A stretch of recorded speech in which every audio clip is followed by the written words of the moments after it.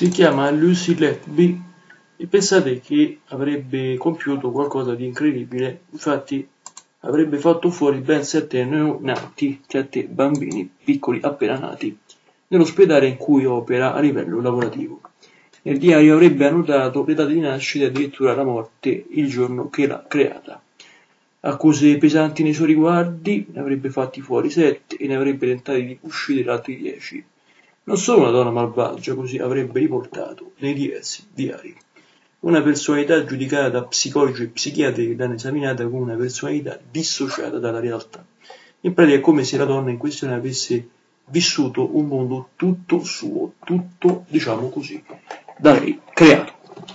Avrebbe addirittura tentato di uccidere per ben due volte un bambino prematuro portato via dall'ospedale. I pubblici ministeri si sono adoperati facendo sapere a tutti che la donna ha dei problemi piuttosto gravi.